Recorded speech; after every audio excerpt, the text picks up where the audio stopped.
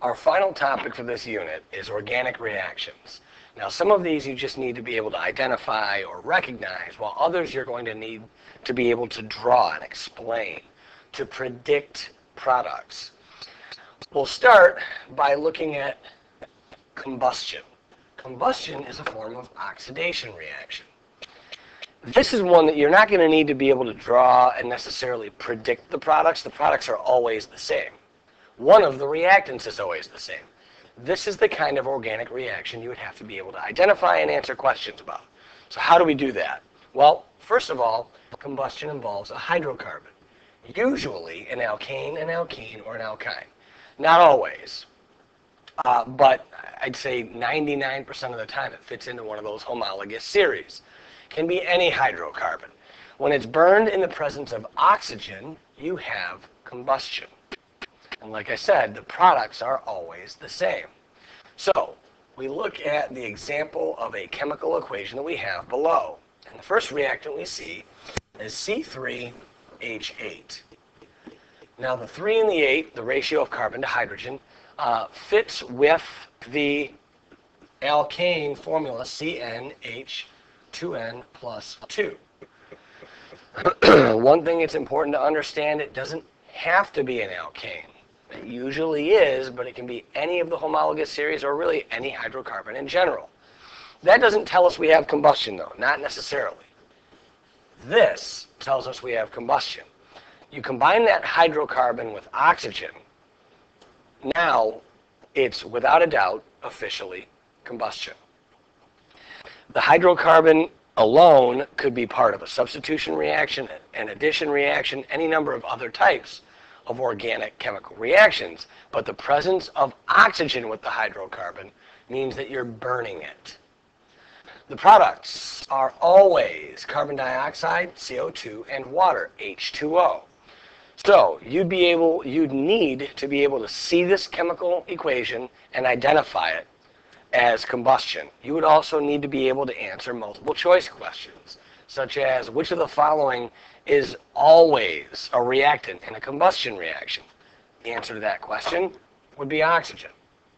Uh, another example, which of the following could be a reactant in a combustion reaction?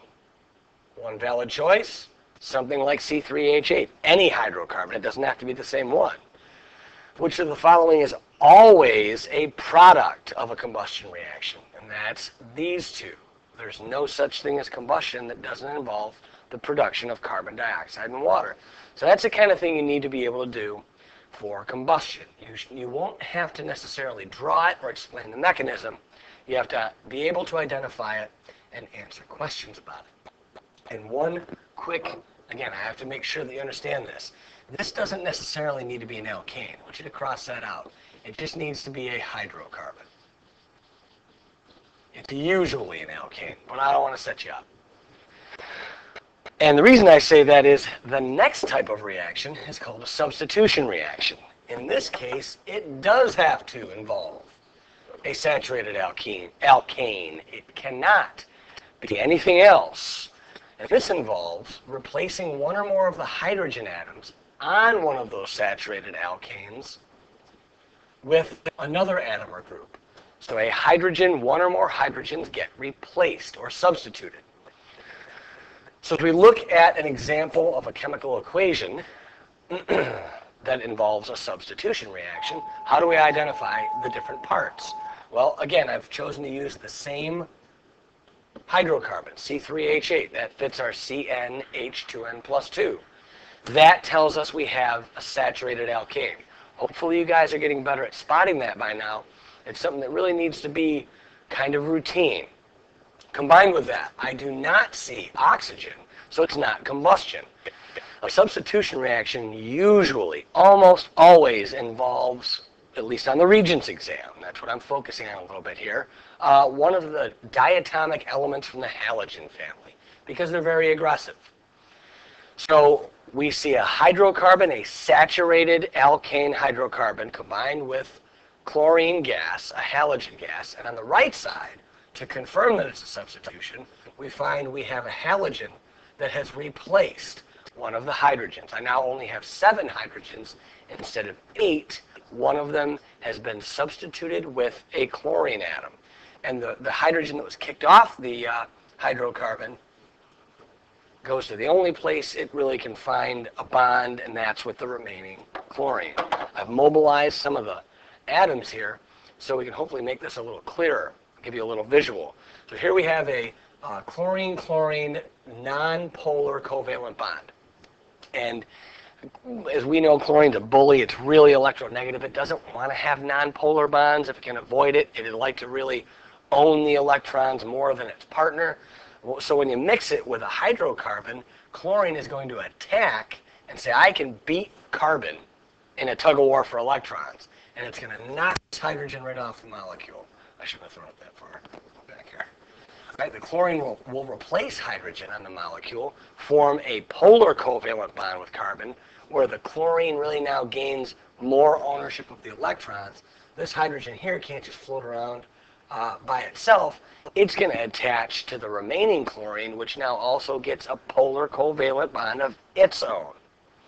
All right, so that's how it works. The chlorines uh, would rather be participating in polar bonds, so they attack a couple atoms or a molecule that allows them to form polar covalent bonds. What we get is a halocarbon, as we said, where chlorine has replaced a hydrogen, and the inorganic product here, hydrochloric acid. Now an addition reaction looks awful similar to substitution. And it's really all in uh, identifying the hydrocarbon here.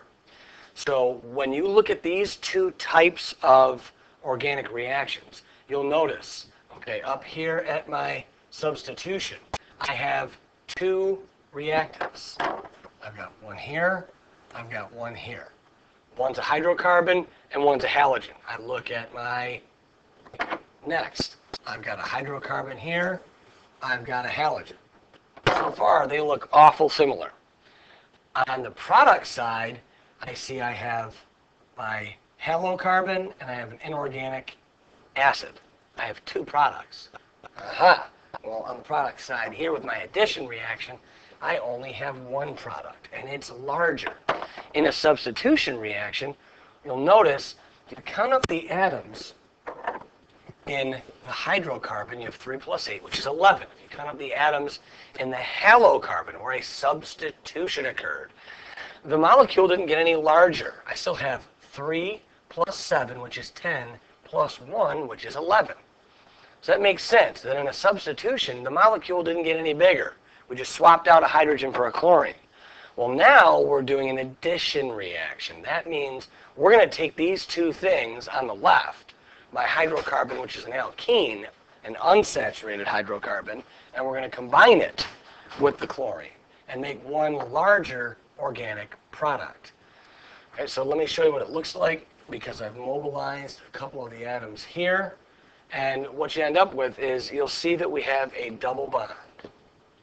Right? This is an alkene. It's called ethene. And what's going to happen is, again, we have our, our chlorines, sorry about that, which we said don't really necessarily want to be in nonpolar bonds. They'd rather win a tug of war for electrons. So now chlorine's going to go attack at the double bond. And this chlorine's going to go attack at the double bond. I'll turn them both in. And what's going to happen is, since the chlorines are more aggressive with their electrons, or more aggressive for electrons, this bond here is going to disappear.